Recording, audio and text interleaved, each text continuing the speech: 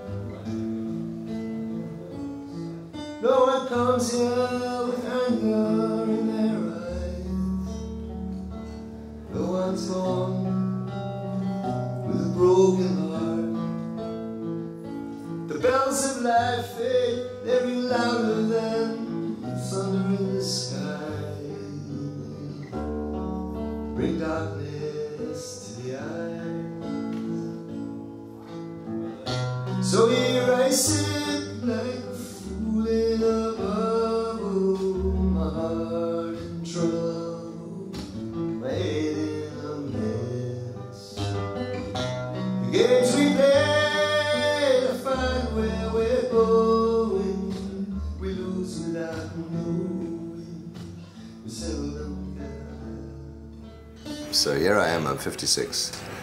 What keeps me walking down this road where there's no fucking lights on anywhere? Okay. Um, well, I have a song.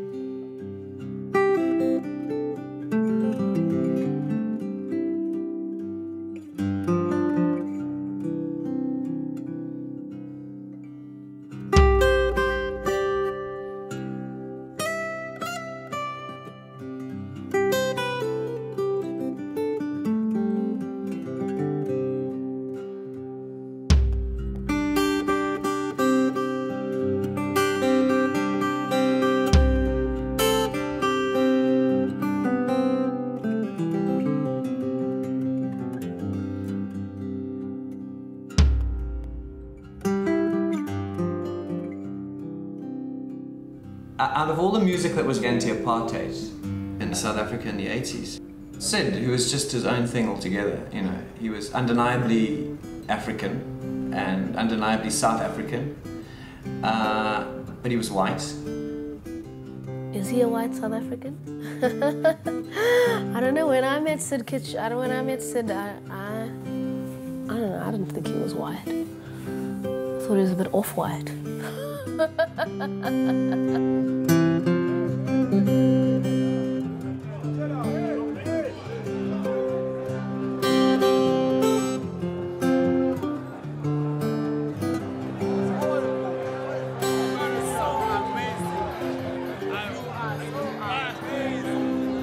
would you describe your type of music? Um, Afro-Saxon. Afro-Saxon. Afro-Saxon. I've got roots that are Anglo-Saxon and African, so I embrace both of those roots. He's amazing, man. Amazing musician, great musician. And I suppose were it not for the era of, of the boycott, you know, of South African artists abroad, he would have long made it as an international artist. Would have happened if Syd had gone overseas? Um, I think he would have been recognized as one of the great musicians of our time. Definitely. Syd could be a rock star, my friend. But he's here, you know, in Durban. Still cool.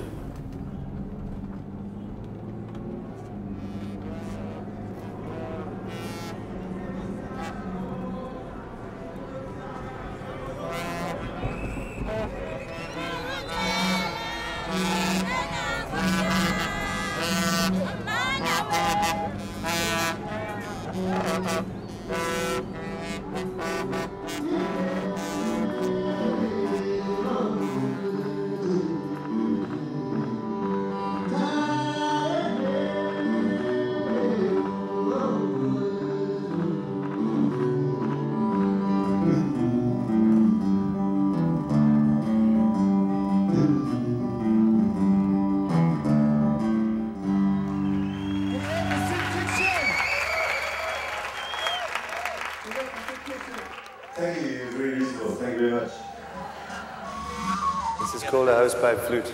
It's a Zulu thing.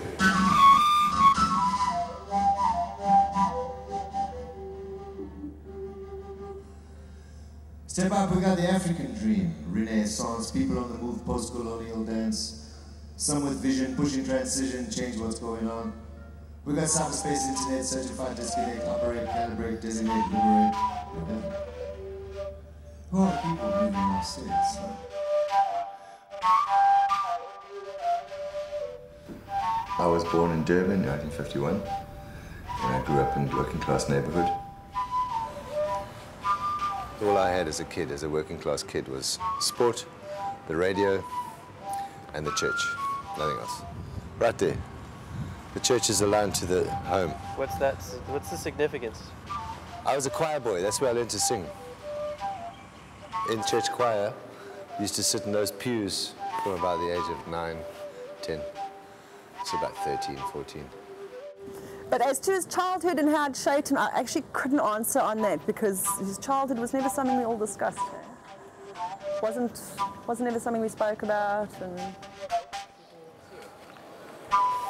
Ah, this house, Jesus. This house I grew up in. Syd and his family, they come from, I hate to say it, like I've,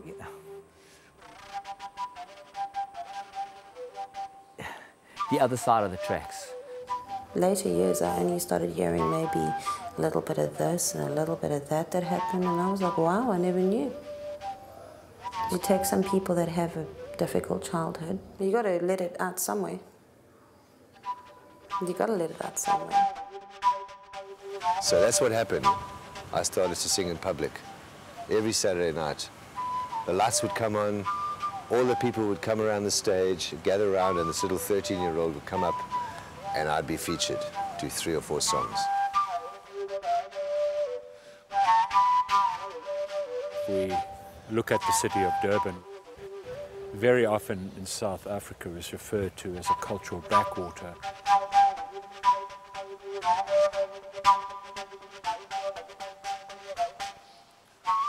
What keeps him to this small place? They are not the opportunities that someone like Syd deserves.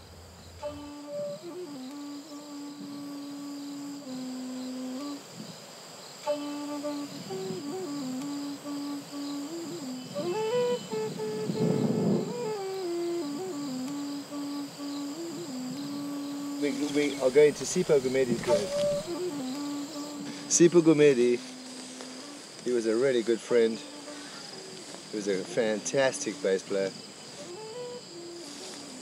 I see there's no flowers on his grave, so I brought flowers with him.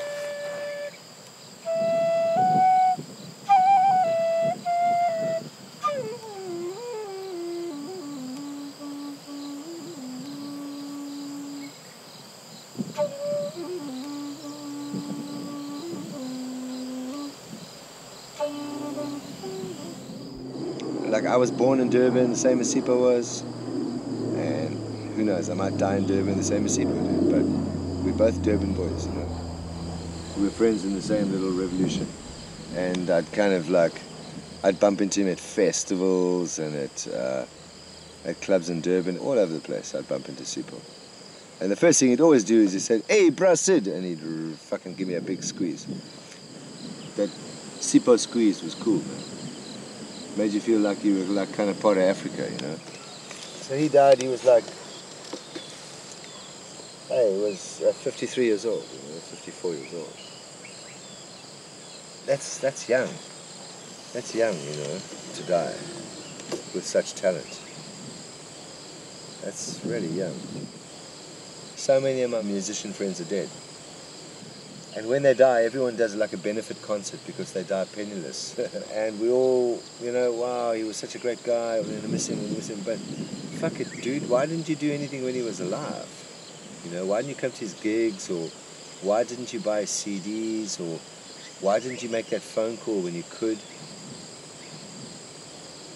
The other thing about Africa is that we lose people like this, and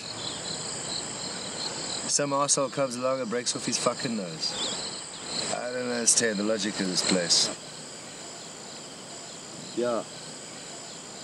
And these flowers I stole from someone else's grave, so I'm not really much much better than anyone else. But but the fact that I'm here to pay homage to him, hopefully, is enough. You know.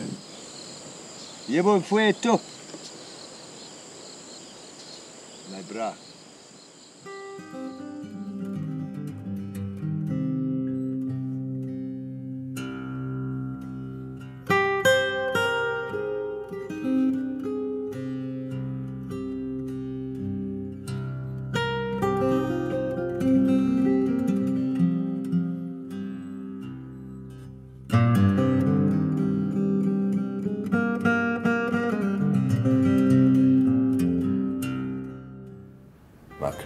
Total busk. It works from day to day, hour to hour.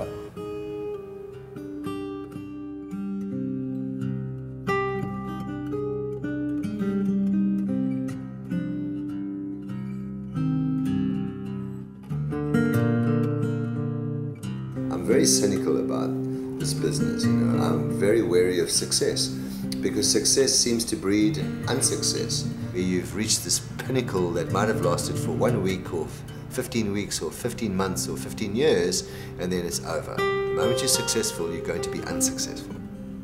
It doesn't mean that I'm not wanting it. I would love to have material resources so that I don't have to worry about my life or my children's life or my grandchildren's life or where I'm going to record next or how I'm going to be able to pay my bond next month. I would love to have that shit. That would be wonderful. I have nothing like that. I got a life policy that will at least leave some money to my estate so that if I die like a fucking pauper, they can bury me properly. But that's about it. Mr. Syd Kitchen.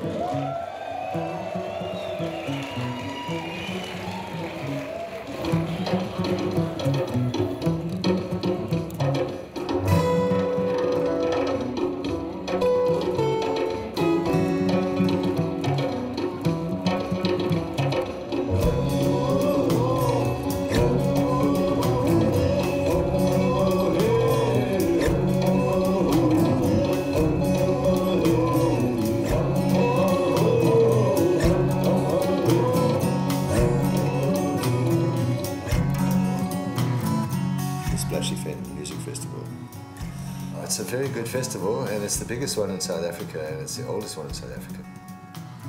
I've been a stalwart at that festival for 18 years.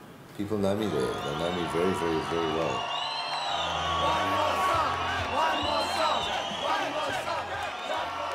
Suddenly this year there seems to be an issue with booking me based on my performance last year.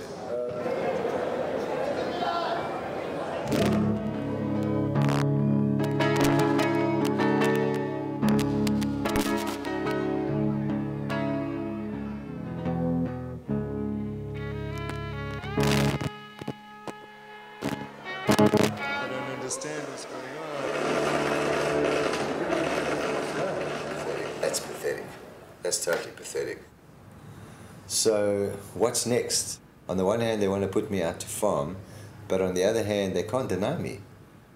My life is a busk. Total busk. I don't know where I'm playing in April yet. I don't know where I'm playing in May. And that's the way this life works, you know. I picked up a gig for this weekend which just came out the blue. Boom, there it is. That's how my life works. I get a gig suddenly out the blue, and it just changes the ball game. Yeah.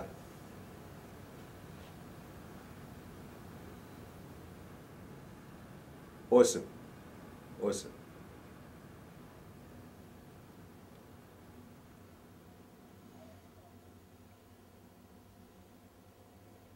Yeah. I'll come there with a fresh batch of songs that'll blow their hair back.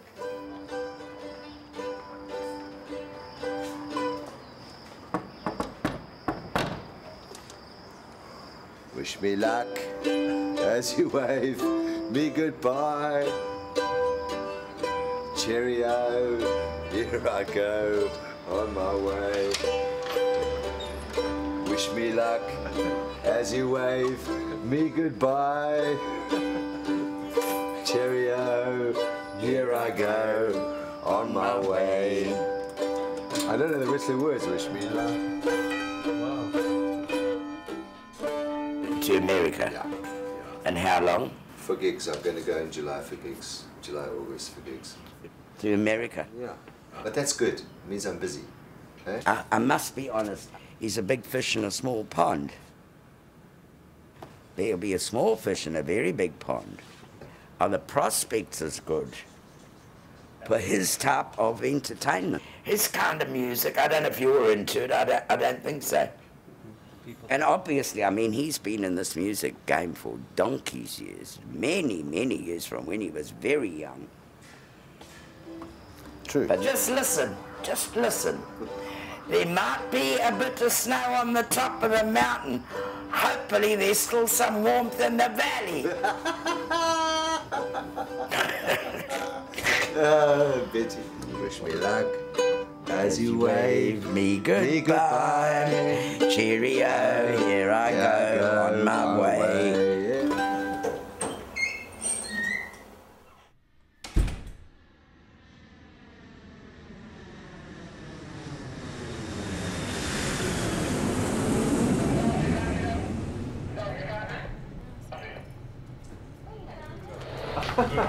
You made it, my man. That's that's a good thing. Uh, Syd is really excited about his trip here. And I'm I'm very curious about what's going to happen on this trip. What are people going to think about this guy?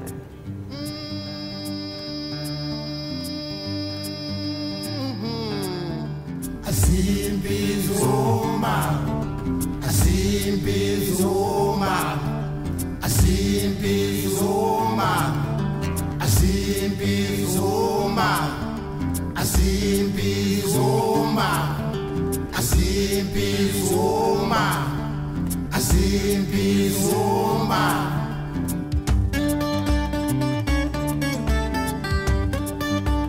I believe that everything that happens in this life is absolutely predetermined. I believe that. I believe that.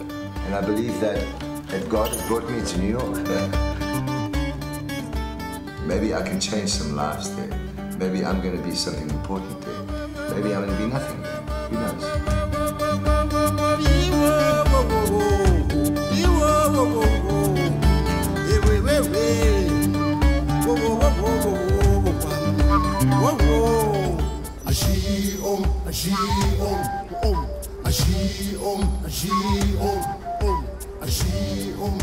And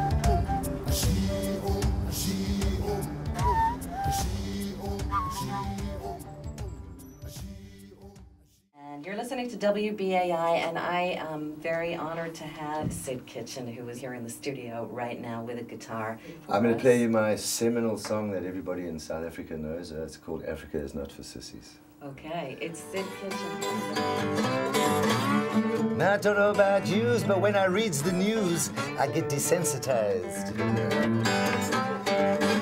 You know the woman next door, found her lying, lying on the kitchen floor. She'd been dead for days, cops came, took her away. They put tape on her door. What does that mean that Africa's Okay, not for sissies? what happened was when we got our democracy in 1994, a lot of white people left the country. Where did most of those white people go? Australia, Canada, England, and some like myself stayed who embraced that democracy. And there were those also who stayed who stayed reluctantly and complained. So I kind of wrote that song not kind of aimed at the people who've left, but aimed at the people who are staying and complaining. Rather like try and do something about where, where you are, you know. Oh. Packed up and I'm ready to go. Scared shitless and I want you to know that Africa is not for sissies. Na na na na na. Africa not for sissies. Yeah, boy, yes.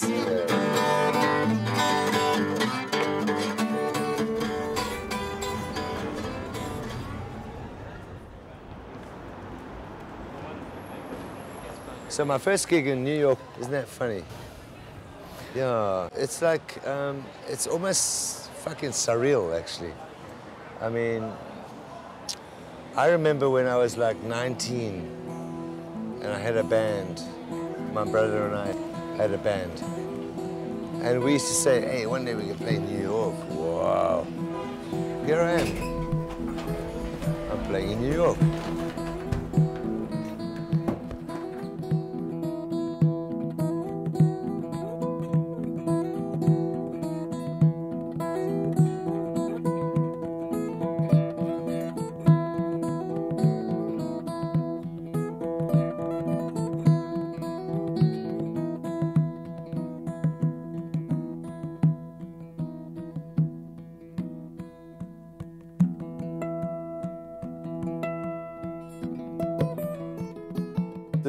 Kids, we discovered that we both um, had this, uh, this guitar stuff flowing through our veins.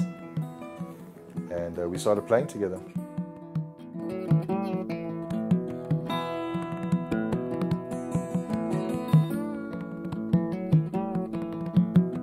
I was in the army and Syd was working on the, on the, on the railways, but uh, he always had this thing at the back of his mind. Uh, I'm getting out of this. And I'm only temporarily working a little bit of time now and I'm going to do this full time. I think Syd had the vision. I was the quiet guy in the background. I was the introvert. And that was lots of fun. It was really great fun. You know, these two 18 and 19 year olds, backs of motorbikes carrying, carrying guitars on either side. It was really 75 was a great year for us. We were certainly at the pinnacle of the South African folk scene. once again.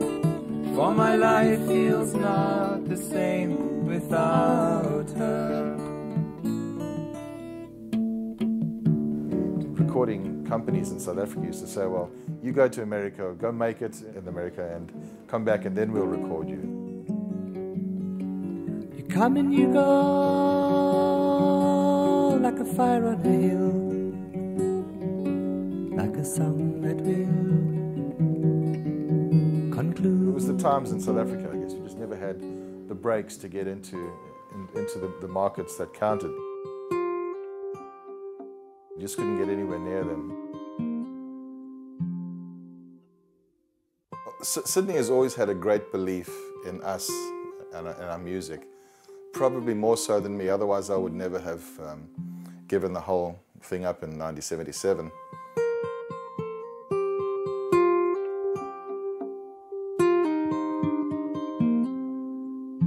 I've often thought, well, what would have happened if we had have continued? I don't know. It's no good speculating about that. You know, we all choose a path and we have to live with those choices. So I wouldn't like to say anything more on camera about that if it's okay. Yeah, yeah, we won't.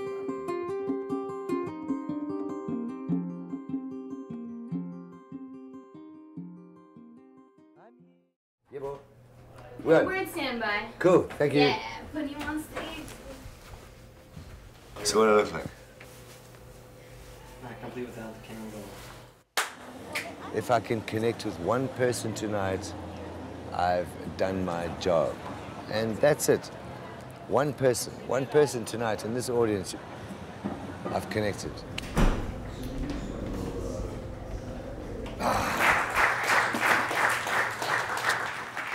Thank you very much.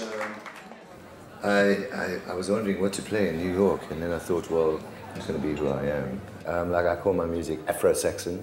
I have Anglo-Saxon roots, and I have obviously African roots, which I embrace.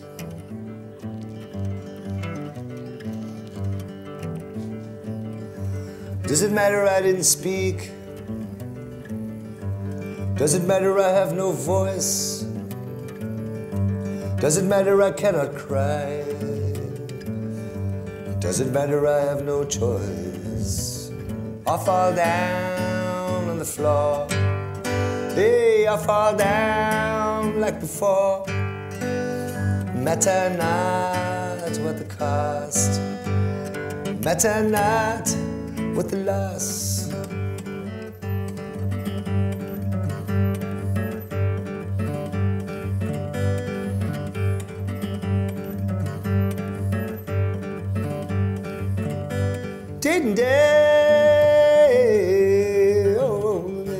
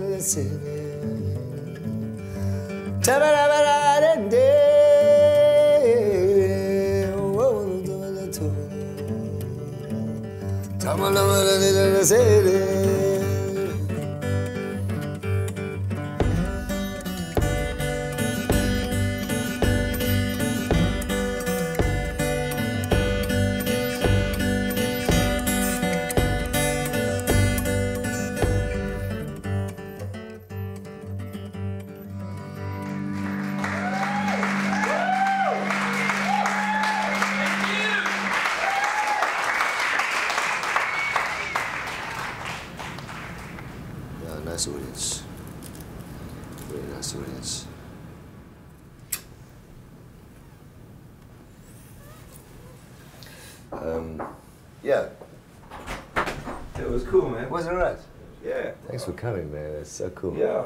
Can you please focus on this man? This is Keith Lenton. He's a great producer and fine bass player and wonderful ex-South African.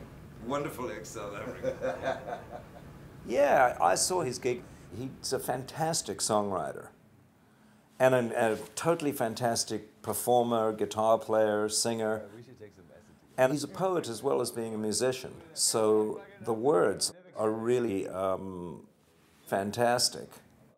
And I would love to produce a record for him. I, I would love to. project, uh, he's a very much a staple on the South African scene. If we were lucky enough to get the Ojoyo guys, Bakithi played all that amazing bass on Paul Simon's Graceland record. Tony played the accordion and the keyboards, and they're both phenomenal musicians. Maybe even something could be worked out that I could produce something for Syd at Anton's studio, which is in Montauk.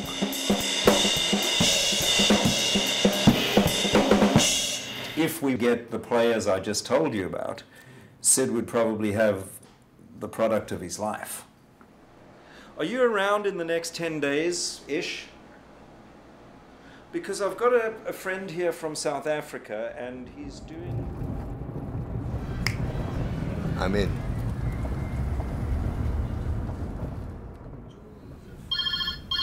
Hello. I said, how you? Uh, Betty here. Awesome. Awesome. We've got all these expatriate South Africans living in New York. Heavyweight people. Oh, serious people. They played with everybody. Okay, so these guys have been living in paradise. But now here's this Afro-Saxon boy who comes to town. Afro-Saxon? Afro-Saxon. And this weird, eccentric bastard comes from Durban. And they're all going to connect with me. And we're going to do this album or whatever it is, five songs. Keith Lenton is someone who's gone across the water and become someone of importance. He can produce this thing. And I've got the song. It's called Fool in a Bubble. Sorry? Fool in a Bubble. Fool in a Bubble is the song.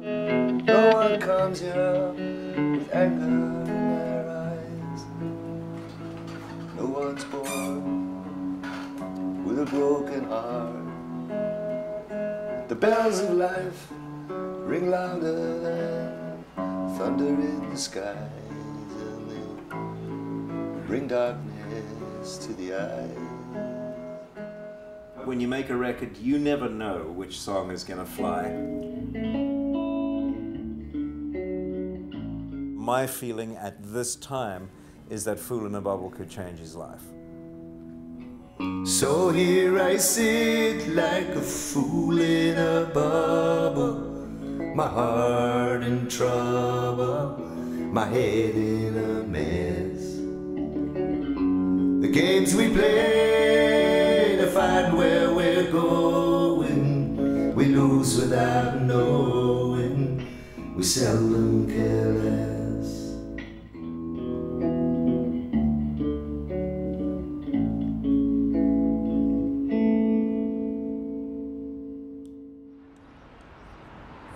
Three days now. I'm playing tonight yeah. Where are you from? I'm from Durban. Durban. How you doing? Syd. Excited to see you play, man. They probably need some explanation about what I do, but I think if I play tonight with energy, irrespective of what the fuck I'm talking about, they're gonna love me. Packed up and I'm ready to go. I'm scared shitless and I want you to know. I can't stay, find the sea. Africa. Start for sissies. Yeah, well, yes. I didn't think I connected very well with the people, but um, Yeah, but I mean, for the most part, like like original music, it takes. it's very difficult. I mean, very rock, difficult. rock I know. I've yeah. been doing it my whole life. but I know. Yeah, so it's not not any different back Mm. home, you know. Although you you're known there at this point. It's even it's fucking even harder here, because you know when I talk about Africa's not for sissies, they really don't know what I'm talking about. You see, the thing is, in, in 1994 we got a, a democracy. We got like the fucking apartheid regime fucked mm. off, and we became like a new nation, rainbow nation. About my music, Yeah. I'm an Afro-Saxon. We had apartheid, which was like um, people weren't allowed to associate with each other, you know, across the color line. No, no, no. No, like Yeah. segregation. Oh, fuck yeah.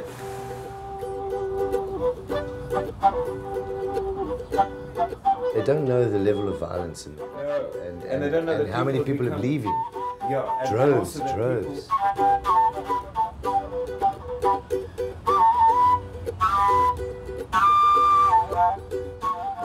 Maybe they have to understand where I'm coming from.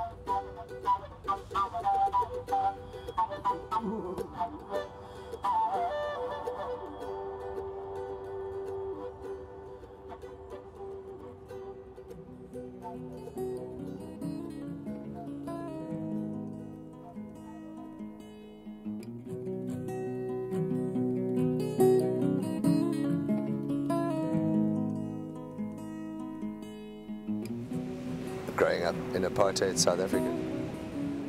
Strange days.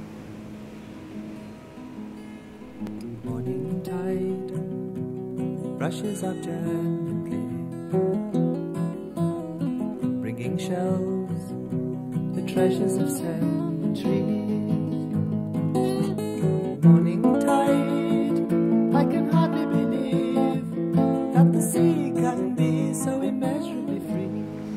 Strange days indeed. Total ideological blackout. We didn't have television. The newspapers were told what to report. So essentially, most white people really didn't know that there was a problem. And the seagulls are lazy,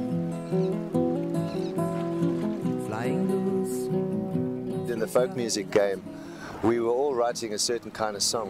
Oh, conscientized to anything that was going on in the townships. that the sea can be so immeasurably free.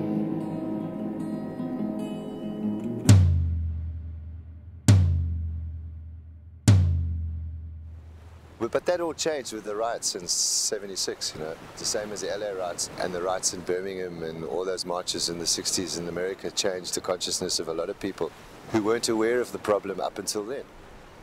So the same thing happened with the way people were writing. This was written in 1976. Soweto was on fire. High on the hill, I watched the valley on fire. The flames licked at my heart. I saw a nation in a burning tire. The carnage tore it apart. Someone told me it's a bad, bad dream. Wake me up from this ugly scene. I don't want to be here no more. It's a nightmare, can't ignore. Someone tell me there's more than this. Tell me I got the right to wish. Maybe there's the only way. Down where the children play. And then, of course, in the 80s, the violence got even worse. Down where the children play. A lot of white people left the country. We used to call it the, the chicken run. People leaving this country in their droves because they, they you know, didn't see a future for themselves and they were, they were worried about the politics and the violence. I don't, I, I, don't think he, he could bring himself to leave, you know, and it was too much of the fabric of the, of the resistance fabric within the, within the country, you know, and so he, he couldn't leave, you know. In 85, I'm released Waiting for the Heave, The Change. Best South African album of the 80s. It, it has as much to say to an international community as Paul Simon's Gracelands did at the time. You know, and his songs were about, about leaving this place, about, about the madness of this place. All of these were songs about being a white South African, and it became quite a political statement. Calling out, calling out like a fire raging to the sky calling out, calling out like thunder in the sky, calling out, calling out to the faceless.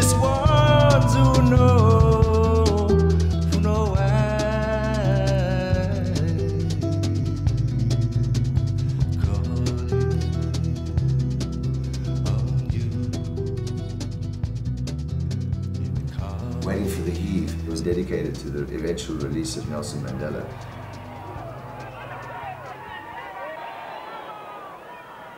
And four years later, that happened.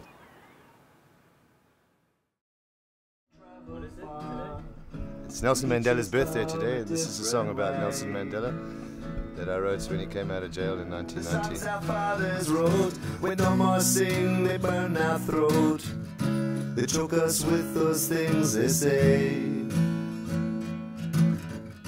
The dusty words have turned to clay in Camelot. The first verse talks about my impression of seeing Mandela, that kind of image of him walking to freedom, walking out of jail, finally. You know, that was a very powerful image because you're like average white person being led to believe that he was a terrorist.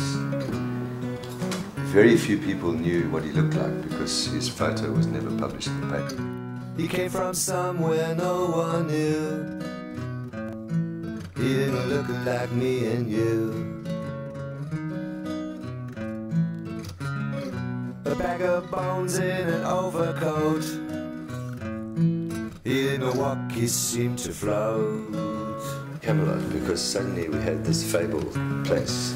And that's what we were waiting for our whole lives, really, the Rainbow State.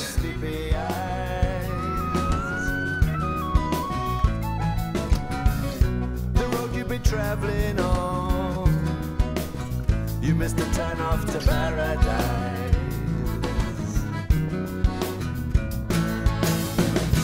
Now here we are, we are, and all of us have traveled far, and each has come a different way. The songs our fathers wrote, we no more sing, they burn our throat. They choke us with those say.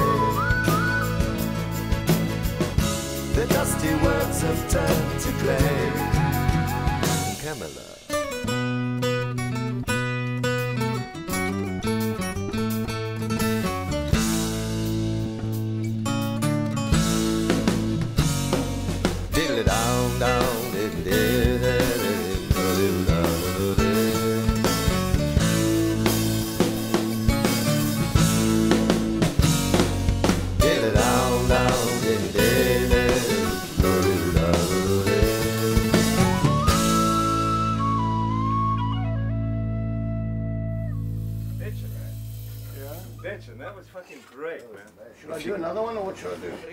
Point Well, I heard heard 'cause- nothing wrong. You didn't get anything. Damn, that guy's good.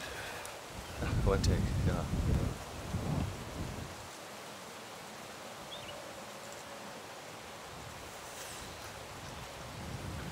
Beautiful part of the world, eh? Charges you up.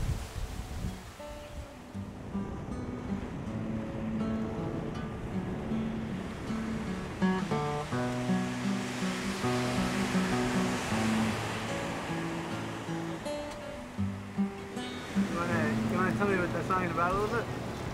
Um, Fool in a Bubble. It's basically about how no one is born born evil, really. I think life, the moment we're born, whatever starts happening to us, changes that. I think you're born pure. The bells of life ring louder than thunder in the sky. The song has a personal connotation. Um, I was t- 25, 1977. Sorry, 1976, the year of the Soweto riots. Bang, my lung collapses. The condition I had, the lung can pop at any moment. It's a big black cloud that's hanging over your head like a sword of Damocles, can fall at any time.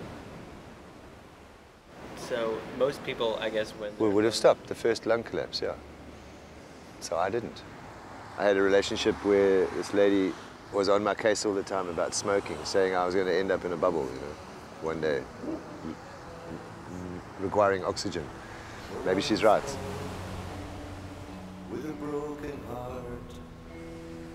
But the bells of life ring louder than thunder in the skies, and they bring darkness to the eyes.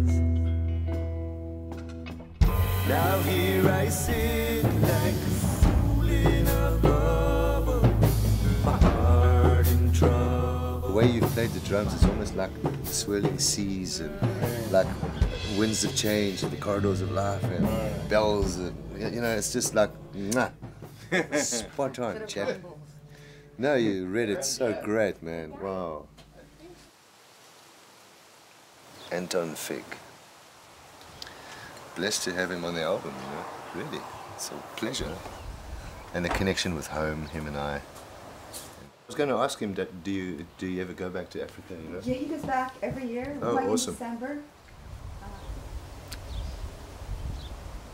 He's done well for himself. You know, he's got that stable sort of situation in his life. Wonderful.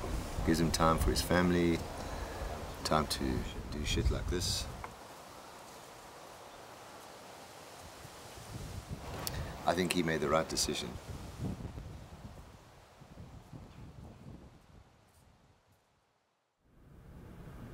I think what's happened in the last 14 years that a lot of us who embrace the new South Africa have become a bit disillusioned. You're right, you're right, you're right, Yes, you're right. Yes.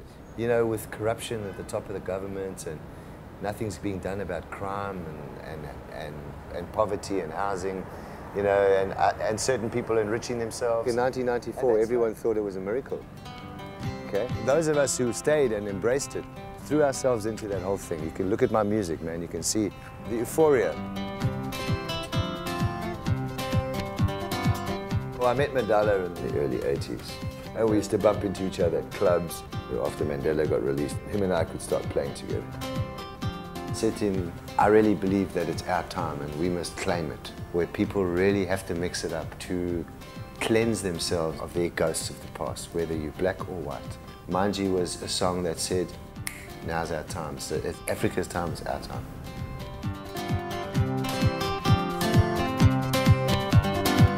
All our debts have been paid and our notions have moved away.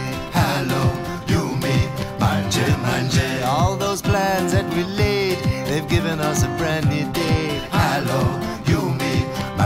manje, manje. Ah, we don't mind anymore, we got nothing left to say. Hello, you, me, manje, manje. Let's set sail for the sun and go wherever the winds blow. Hello, you, me, manje, manje. Manje isikhathi sesifikile,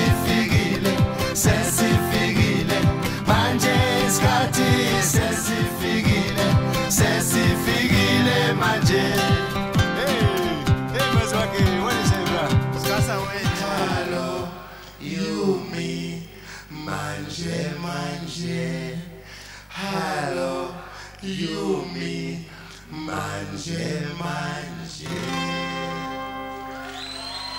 Thank you. You know, Madala Kunene, he said to me, the one day we were just parking off under the tree, smoking some dope and jamming our guitars, having fun. And uh, we were talking about the new South Africa. And you know he turned around to me and said? He wishes it was like the old days when it was safe. I mean, it's coming from a black man who was confined to a township. That's like quite a blemish on the horizon in terms of like what we might have achieved 14 years down the line, you know?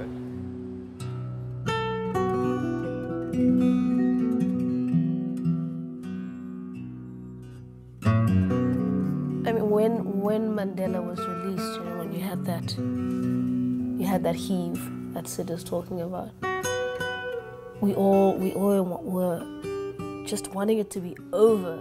You know, we're just wanting to be the Rainbow Nation. Um, but we have a huge hangover.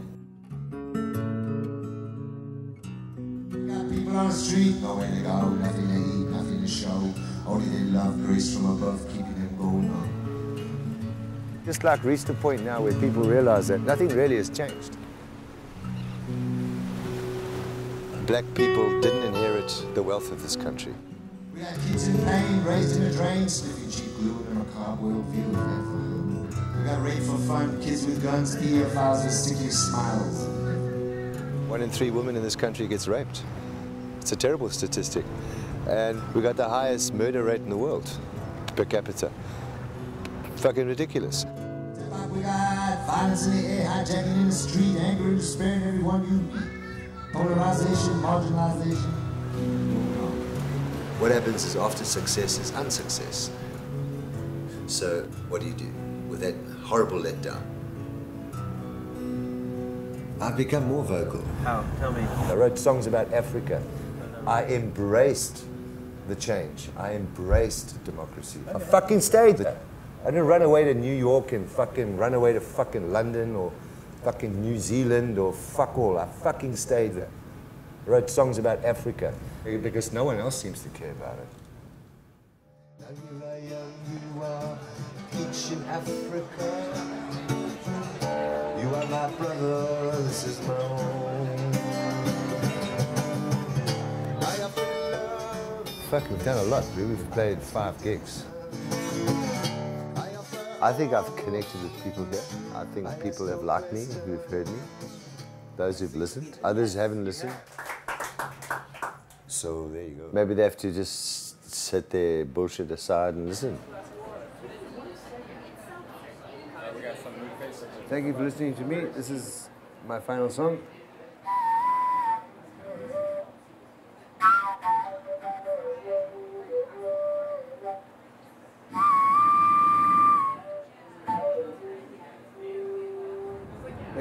Fucking frustrated.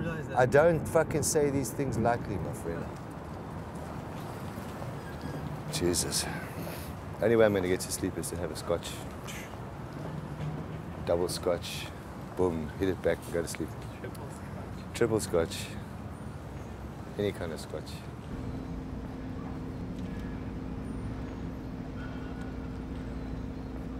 I don't give a fuck about whether people buy my music or not. Of course I care. What Well, I care care because I'm a fucking poet. I care. I care if people are listening. You guys are welcome to my house, but we didn't know you were coming. We had It was the promoter, miscommunication. They don't even know who I am. That's the first point. Second point, there's no fucking sound. What must I do here? No, it's bullshit. It's like uh, I've come all the way from Africa. It's, you know, I don't know where the fuck's going on here. You know, you know, ah, Christ. Now I must feel happy and play.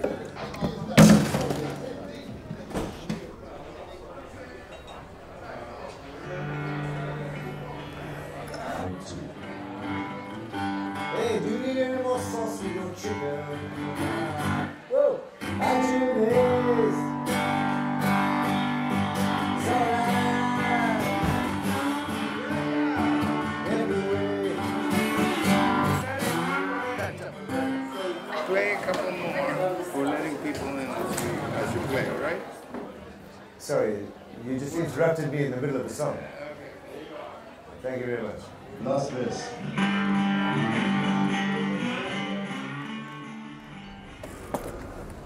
Not fucking happy. Not fucking happy at all.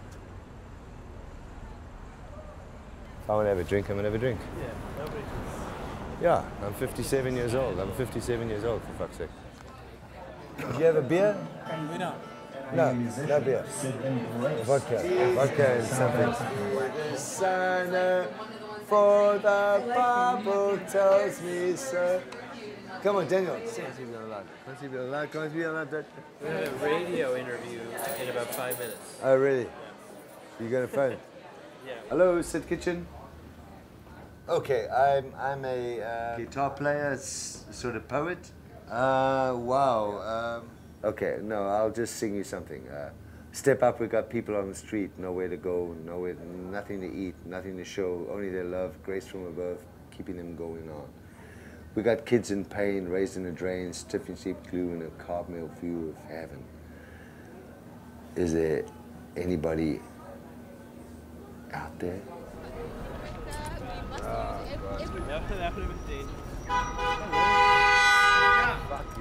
I have a life back in Africa, yes. I have a life. I have a life back in Africa, yes. I just want to go home. You know, I've had enough now. I just don't feel the same anymore. I'm sorry.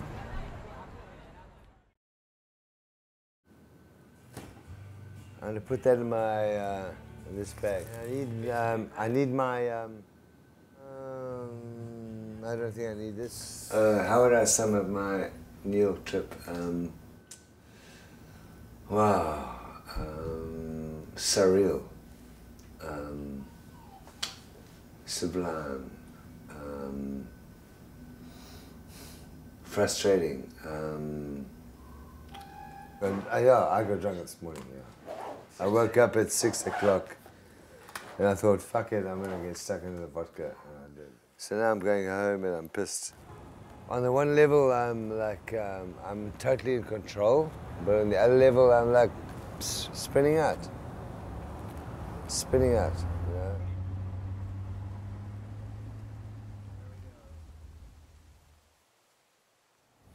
Three months later, I decided to return to South Africa, Cape Town, where Syd was on tour. I didn't really know what to expect. Yeah, just saying, last time he had long, long hair. exactly, you know. How many years younger? Cutting off your hair, you look a good 20 years younger. Well, I tell you what. I am the proud owner of a bottle of Jameson's single malt Irish whiskey, yes. Triple distilled, whatever the fuck means that, that means that. Wait, wait. The melting pot, yeah. This is pre-show ritual, yeah.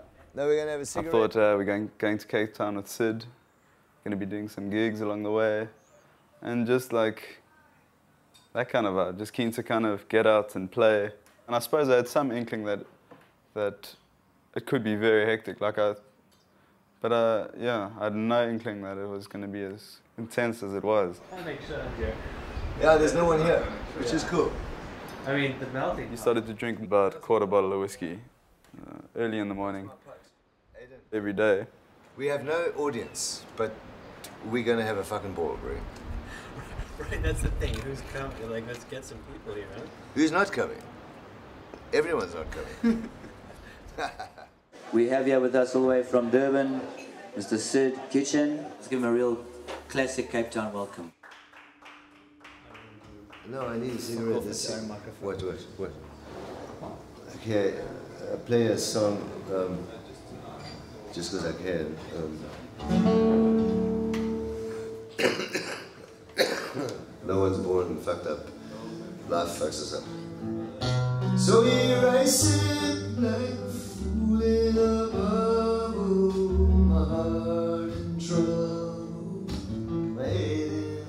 Syd's health worries me. And I've spoken to him about it.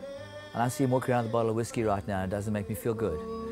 What's with all this whiskey? Chill with me, fucking asshole. Fuck you fucking talking to me. I'm trying to fucking listen to you. And I just thought, you know, well, fucking get a wake up already.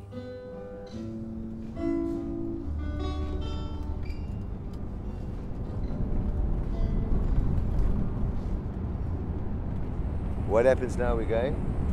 We go going through Scarborough to Cape Point, around Simonstown, back to Fish Hoek. So you go right around the toenail of Africa. Little thing at the end, next to Cape Town, and you can watch a storm coming from the horizon, a big black wall, getting closer and closer. And you know, in half an hour, it's going to hit. It's going to hit town, big town.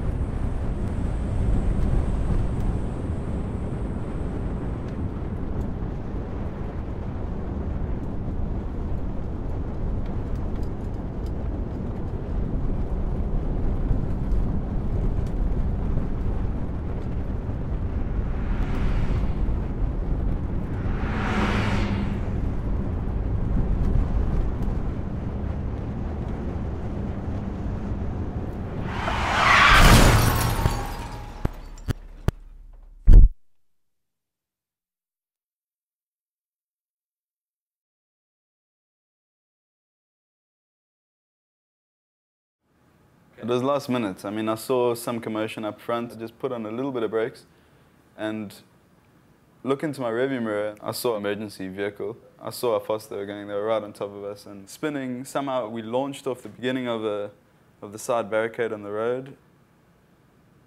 And then you feel you're not on the road anymore. You're just flying. We plummeted 35 meters off a fucking ravine. Hello. Bah. I fainted. My tongue was hanging out, my eyes were rolled back. I felt myself going down this tunnel with amazing images flashing past me like fucking ridiculous.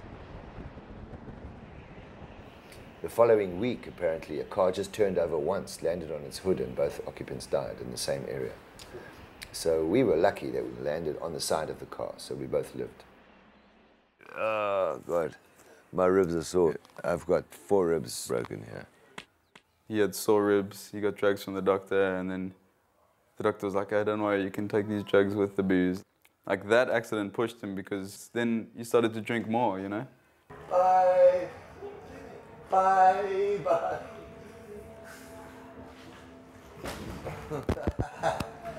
ah, here I sit like a fool in a bubble. My heart in trouble. My head in a basket. ah, fuck. Syd needs help. No one comes here with This car crash really kind of, I thought maybe that would shake him to see how precious, how close he came to losing his life. The fact that he walked out of that crash is an absolute miracle, no doubt about it. So I would say that currently Syd is at a crossroads. Um, he doesn't probably know it. Uh, he's probably refusing to even look at it. I don't know. Um, I've been at crossroads in my life, and I've done a lot of self work. I've worked as a psychologist, I've worked as a psychiatrist, I've studied psychiatry myself. Um, I've worked in men's groups, I've run men's groups, I've been a facilitator. I specialize in regression work, taking people back into their youth because that's where the, the, the wound occurs. So there's a wound there, a big wound, and that's what Syd needs to look at. So I would say that the work needs to start, needs to start in his head.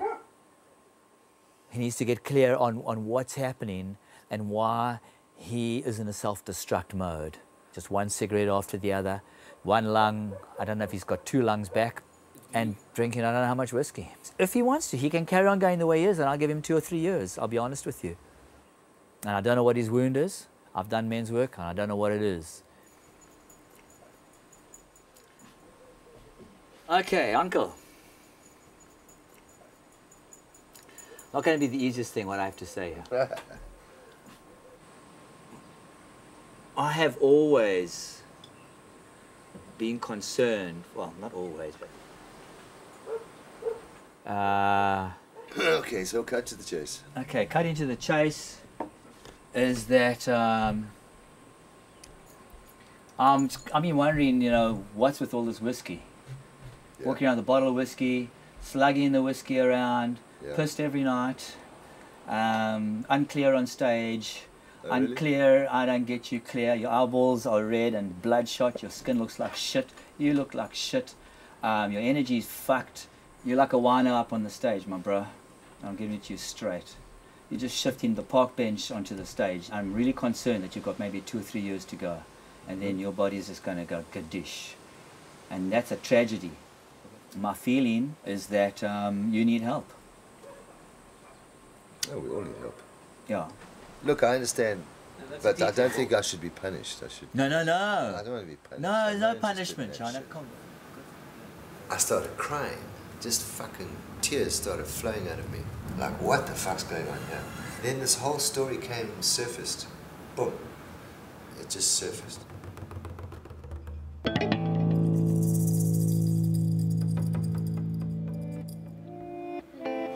My father, Stanley William Kitchen, he was a railway worker. He used to work from six in the morning until nine at night.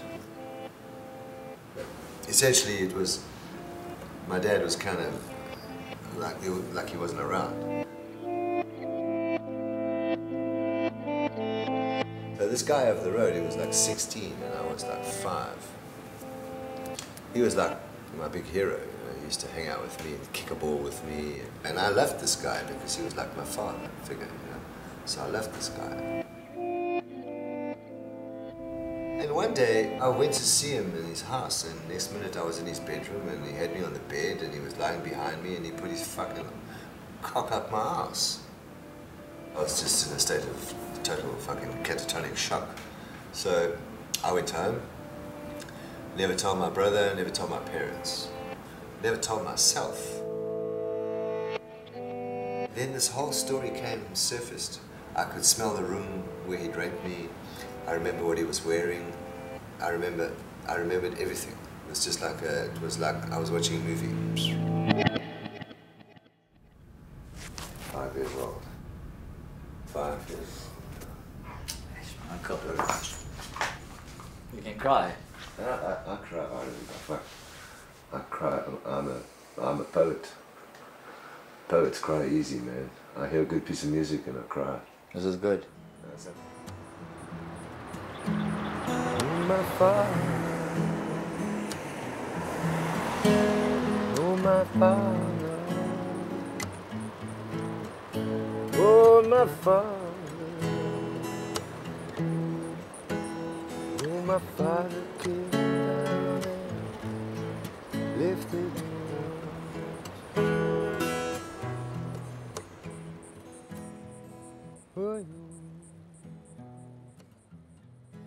talk about how I was drinking, drinking whiskey, that's excessive. Long ago.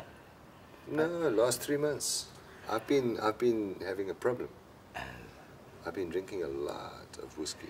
You mean like how much? Uh, uh, of a- Almost of a bottle a day. How about Jesus, that? like that- Yeah. So anyway, okay, I've right. stopped that. I've stopped that. I've stopped that.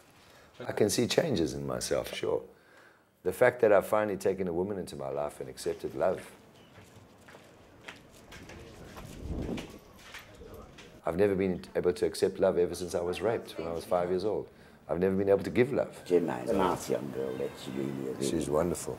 a very nice. She's the best thing ever happened to me. I've been aware of my drinking problem for years. For years. She's come and she's calmed those waters. She said, Babes, we've got to stop that. That's got to stop. Why don't we grow old together like two leather shoes? She undoubtedly loves me.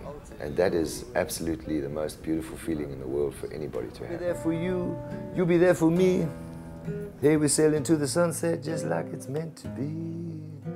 So why don't we grow old together?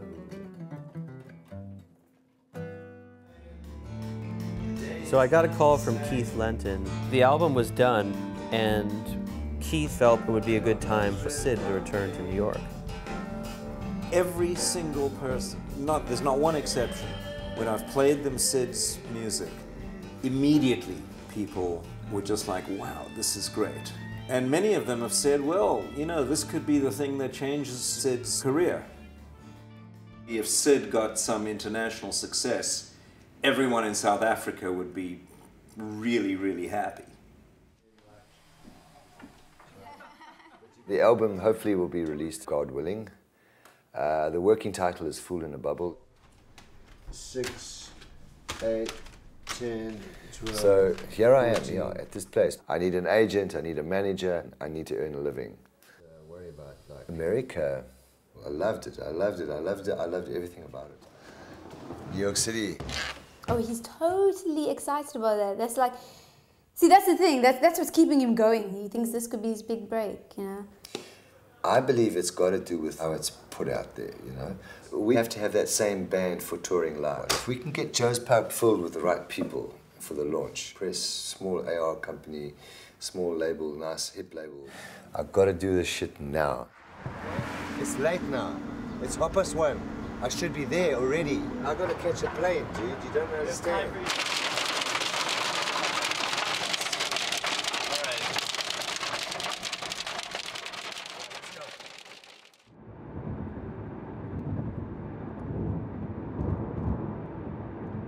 Welcome to New York. Uh, why, why are you here? I'm here to launch a new CD and to play with some outstanding musicians.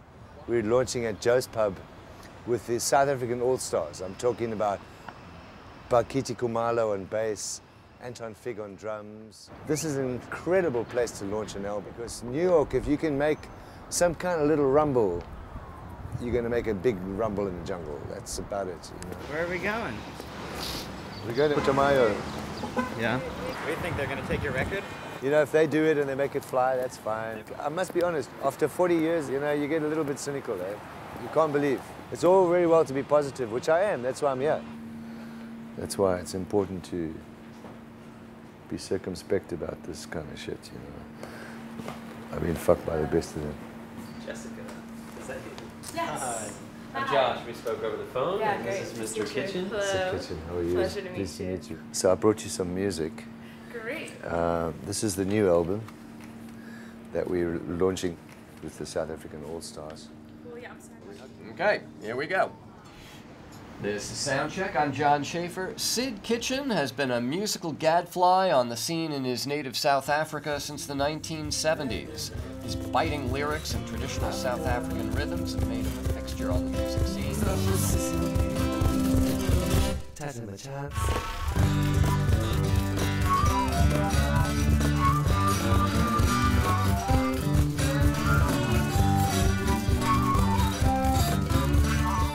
If you want to see Syd Kitchen, and boy, you should, Syd will be playing on Friday the 24th with the South African All Stars at Joe's Pub.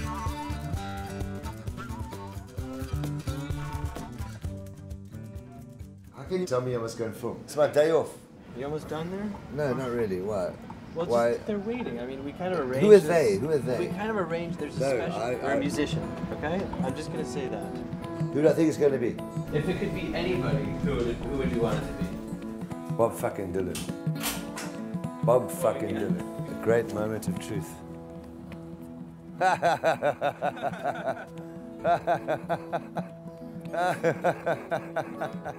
Sydney sausage. Hey, no. no. This is such a nice surprise. That was a stress okay, so now now we need to really structure Pete into the gig. The definitive reunion song. In the public park where people congregate. Not even in tune, man. Let's choose another song. We'll work on these. We'll work on these. Um, Good grief, 30, 30, 33 years ago. why so late? And I think, well, why not? Who cares when it starts? It's how you end the race, I think that matters.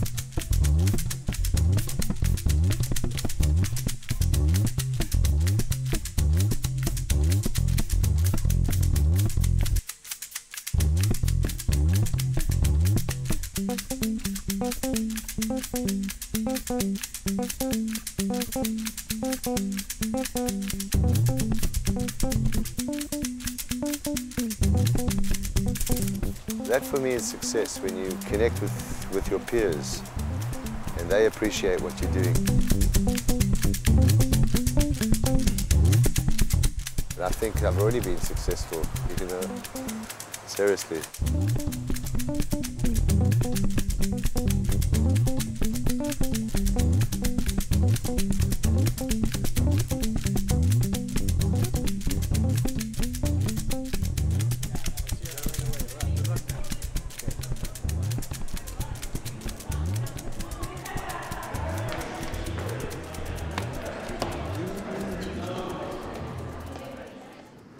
Playing tonight, I'm hoping that people are going to turn out and come and see me.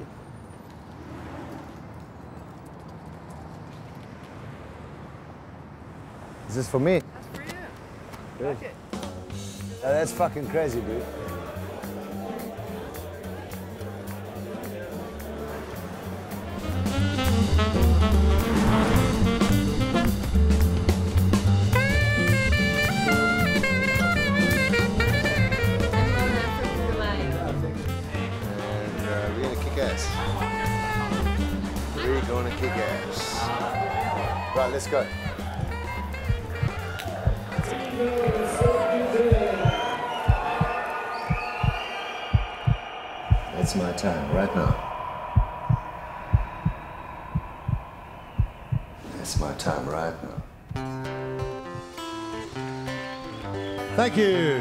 Thank you, thank you. Welcome. Welcome to South African Night. This song called Manje. Manje iskati sesifiki.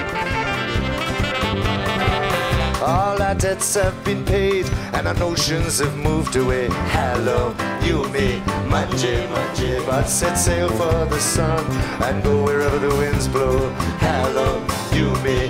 c'è mangiare Mangiare scatte se si finire mangiare Yeah,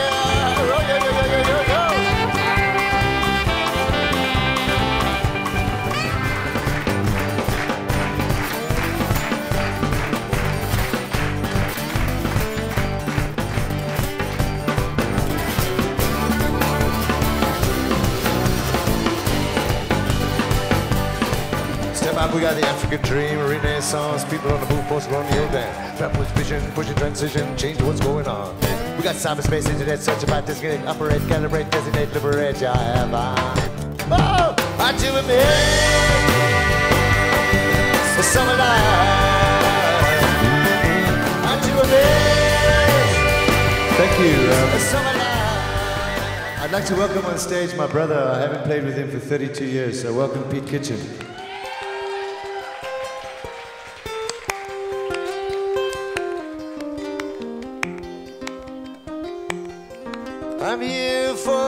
Inspection. It's half past the night, and the sky don't seem right in its glory and its might and its colors. It's pale and it's gray. It's the dawning of our age into the vastness of sage with the turning of the page and its emptiness.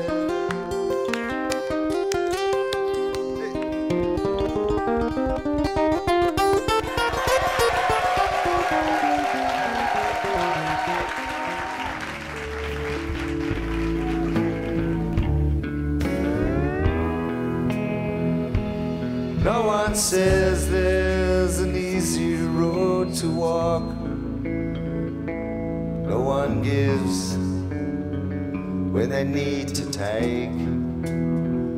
Hey, but in this life, all these crazy things that move us along our way. Give us hope that there's another day.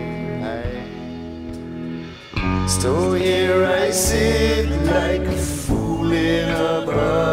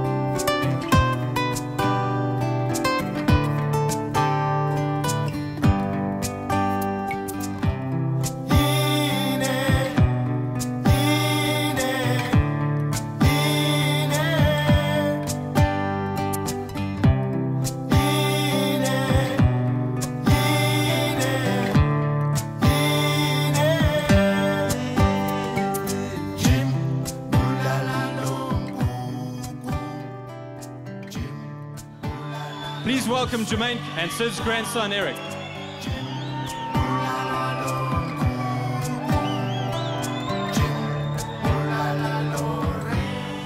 And Syd Kitchen himself. Give him a round of applause, please. Syd, did you take Jermaine to be your lawfully wedded wife, for better or for worse, till death do you part? Yes, I did.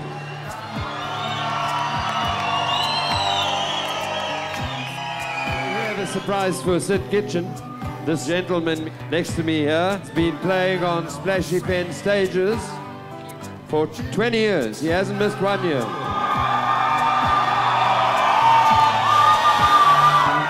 And this is to commemorate this gentleman who is a walking miracle, Sydney Kitchen.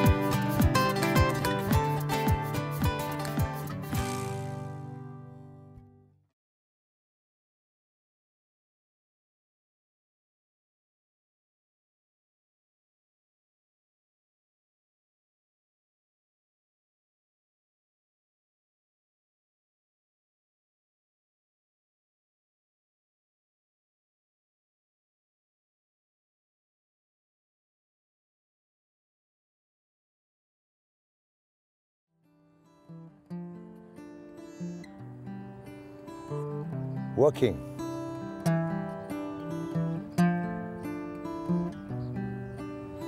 It's all clear to me now.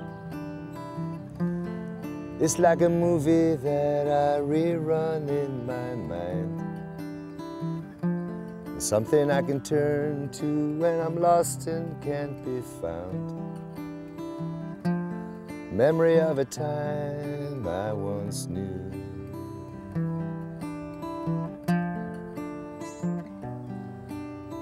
I made it all on my own. I took the pieces that were left lying on the floor, put them all together, and I hung them behind my door. A remnant from a time I once knew. Yeah. All the while it was a face at the glass. Warm eyes hid their lies in silence. Fell down, bumped my knee, but I got up to dance with the sound of a million voices in the distance calling. I go walking, yeah, yeah. I go walking. Wherever I may go, you'll be there with me in the corner of my heart. Someone I can turn to when I'm lost and torn apart. A memory of a time I once knew.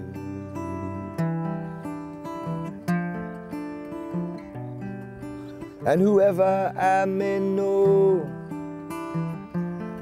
You'll be there with me, the softness of her skin. A tattoo on my mind that just hates the state I'm in. Remnant from a time I once knew. Yeah, yeah. All the while it was make believe with a face at the glass. Warm eyes hid their lies in silence. Fell down, bumped my knee, but I got up to dance with the sound of a million voices in the distance calling. I go walking, yeah, yeah. I go walking. I go walking,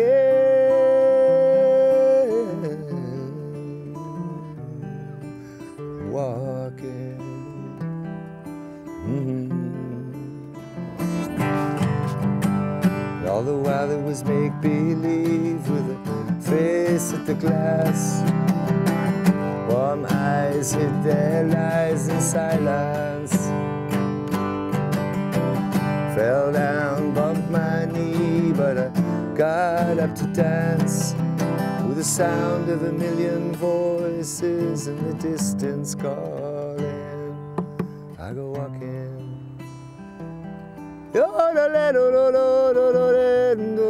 I go walking, walking. I go walking.